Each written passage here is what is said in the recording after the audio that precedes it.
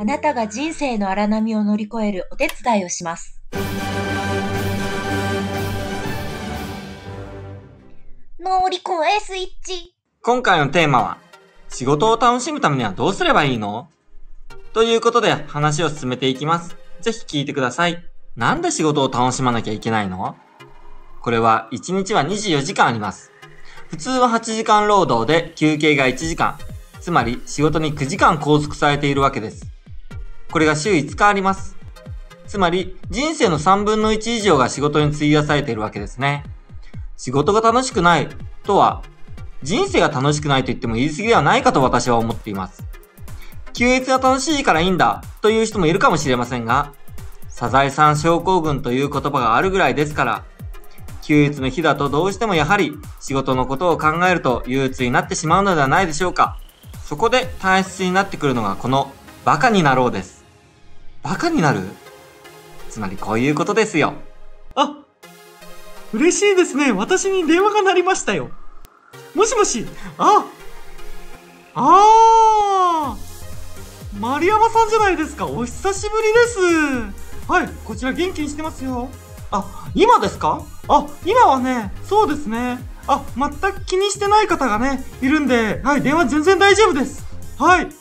はい。あ、ぜひぜひ今こちらへ来てくださいよ。仕事中なんですけどね、みんなやる気のない人たちばっかりで、はい、大丈夫です。はい、待ってます。おい、山中、お前ちょっとうるせえんだけど。ちょっと後は話しような。はい。という風に、一つ目は人に迷惑をかけるバカです。例えば、静かなところで今のように、周りの迷惑を気にせず、大声電話をしてしまいます。周りが迷惑がっているのをものともせず、自分中心で動いていますね。こういう人は人に迷惑をかけるバカであり、こうなってはいけません。長谷川くん、ちょっといいかなあのさ、社長に行ってさ、毎朝朝の朝礼あるでしょ？あそこで誰かがペア組んで、ペアを組んだ人が漫才をするっていうことを提案したいと思うんだよね。そうすれば、きっと朝からみんな元気になると思うから、どう思う？相変わらずバカみたいなアイデアを出してきますね、先輩は。面白くていいと思いますよ。僕は。ま、聞くのは聞いてあげますけど、言うのは勘弁ですけどね。もう一つは、今みたいに人を楽しませようとするバカです。こういうバカは常に人を楽しませるためにどうすればよいかということを考えています。たとえ楽しくない職場であっても、どうすればもっと楽しくなるかなと考えて、実際に提案したりしています。そうすると面白がって人が寄ってきます。たとえ一人でも、同士ができれば一緒に、ああでもない、こうでもない、こうしようと楽しく喋りながら、どうすれば楽しくなるかを話し合えるようになります。こうなれば、もうすでに仕事は楽しくなっていることでしょう。人を楽しませるバカはこうやって仕事を楽しむのです。今見ていただいたように、バカには2種類あります。それは、人に迷惑をかけるバカと、人を楽しませるバカです。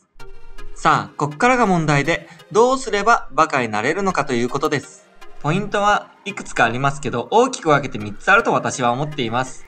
1つ目、周囲の目を気にせずに行動しよう。どういうことかというと、これを言ったら笑われるんじゃないか、馬鹿にされるんじゃないかとおじけづいてしまうかもしれませんが、そんなことを気にせず、どんどん行動していきましょう。そうすると、あなたの応援したいという仲間が集まってきます。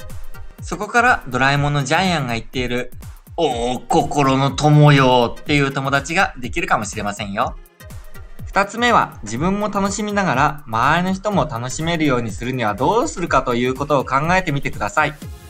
つまらない職場だと思うのであれば、楽しくなるように考えればいいのです。そうすれば自分も楽しくなるし、周りの人も楽しくなります。どんどん楽しさの連鎖が起こります。